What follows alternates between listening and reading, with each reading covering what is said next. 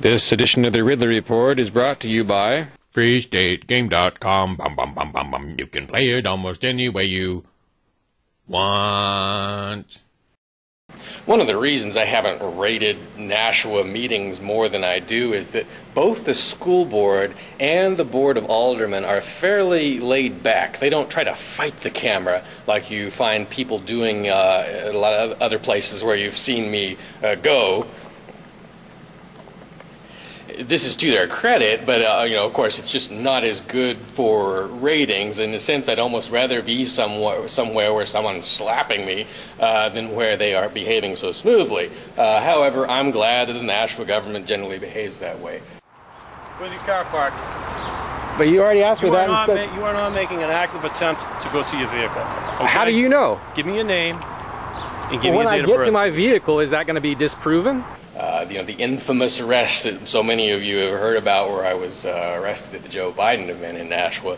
Uh, that's a little bit of an aberration in my mind for the way the Nashua uh, government behaves. Um, maybe the police department is a little more um, out of line here than in some towns. But the, overall, again, that's why I always like to say Nashua is the most underrated town in New Hampshire, because overall things are pretty good here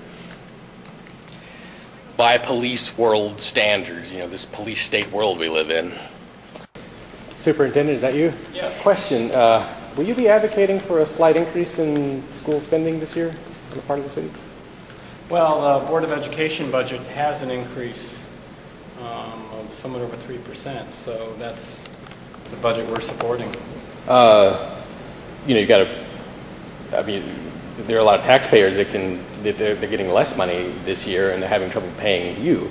Uh, how do you justify an increase in your spending when so many people are having to tighten their belts? Well, I think it's a balancing act. We actually, within our budget, are laying off existing positions um, to make way for critical spending that we have to address in special education or other areas. So we recognize there are limitations in the community, but we've also been in a position as a school district over time of continuing to cut services. So it's a matter of where you strike that balance, and I certainly think the Board of Aldermen have a very difficult job in front of them with that. Appreciate you at least answering questions. It's more than I get out of the Manchester superintendent.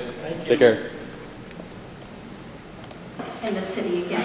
And then we ask ourselves, why is our taxes going up? Then when we have our seniors and our people on fixed incomes, how are they able to afford to pay their taxes anymore? Do they go and get a reverse mortgage to be able to pay for their home that they've been in for all these years?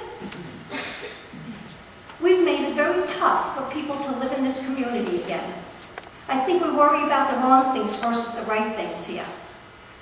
And to give a 5% increase, I know what she does in the department, but I also know it's not right.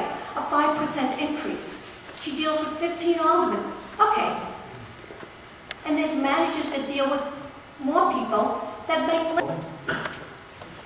Legal department. You've heard about the game Ridley and Friends are building. Free State aims to be a simple but deep MMO war game. A time sink with acute variety and severe customization. But as you can see, I'm not even tech savvy enough to make a good screen cap. So, I need your help implementing this project. Visit freestategame.com bum, bum, bum, bum, bum, to make contact and play the pre-alpha demo.